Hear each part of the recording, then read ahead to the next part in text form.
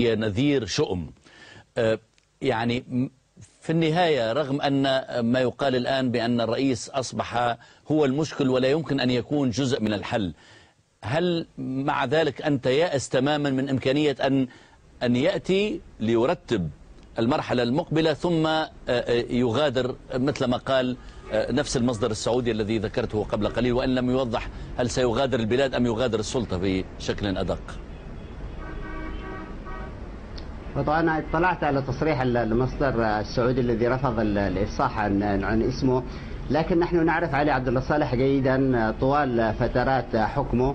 هو لقاءه مع جلالة الملك منذ يوم الاثنين الماضي. بعد يوم واحد من المجازر الدموية التي ارتكبها أبنائه وأقاربه في صنعاء وراح ضحيته حتى هذا اليوم قرابة 100 شهيد وقرابة 900 جريح. إذا هو أصبح يشكل عبئا على المملكة العربية السعودية طوال الثلاثة أشهر ونصف الذي بقى فيها هناك حيث أصدر العديد من الخطابات والتهديدات ومواجهة التحدي بالتحدي وإنه يتحدث من العاصمة السياسية الرياض. هو أصبح عبئا على السعوديين لذلك هم نصحوه أو ضغطوا عليه لكي يغادر إلى اليمن حتى ولم يجد أي مكان آخر ينتقل إليه. لذلك عاد إلى اليمن. هو لا يمكن أن يرتب لوضع ولا لانتخابات نحن في اليمن أجريت العديد من الانتخابات وكانت تنتج نفس هذا النظام. الانتخابات اليمنية تنتج نفس الأشخاص تعيد إنتاج نفس النظام.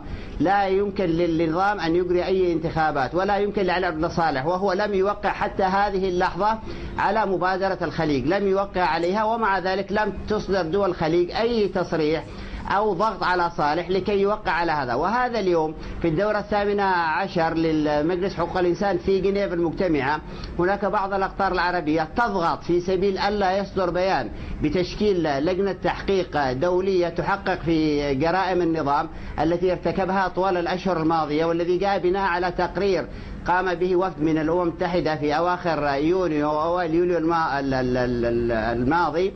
ولذلك هناك ضغوط خارجية آه، أن هناك جهود خارجية داعمة لصالح داعمة لبقاء صالح أو لبقاء هذا النظام لكي يظل مرتهنا للخارج.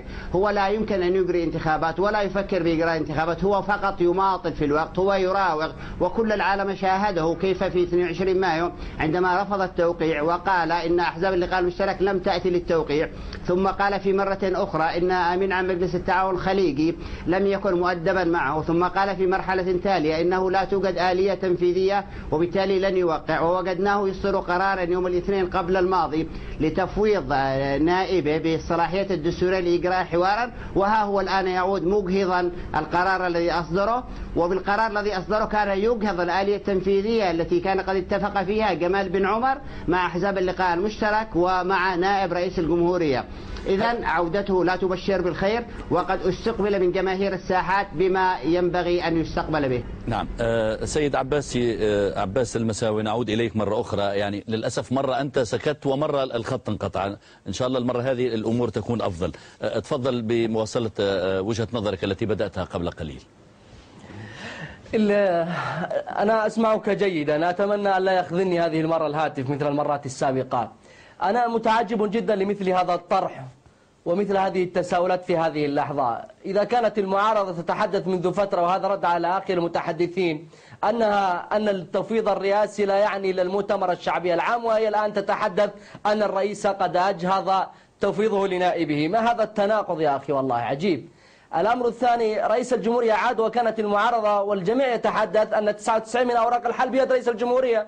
يا أخي لا إشكال ولا تعارض بين عودة رئيس الجمهورية وبين التفويض عاد رئيس الجمهورية هيا انطلقوا للتفاوض والحوار مع نائب الرئيس. أهلا بكم وهيا يذهبوا إلى انتخابات رئاسية مبكرة. وليأخذ السلطة من يفوز بكرسي الرئاسة هنيئا على قلبه. لكن أن نتم في المربع الأول والتراشق الكلامي والتهديد والوعيد وال- والوعيد بالويل والويل والثبور لعلي عبد الله صالح والجمهور علي عبد الله صالح ولحزبه هذه إشكالية كبرى ولكن سيد ولكن اسمح لي فقط. سيد مساوي يعني من الناحية المبدئية ال- ال- ال- ال- العامة ال- ال- ال- ال- الإصرار على موضوع الانتخابات قد يكون مفهوم ولكن الآن قد تبدو الصورة والأوضاع تجاوزتها لأن حتى مثلا بالنسبة للرئيس بن علي كان يود أن يبقى ل 2014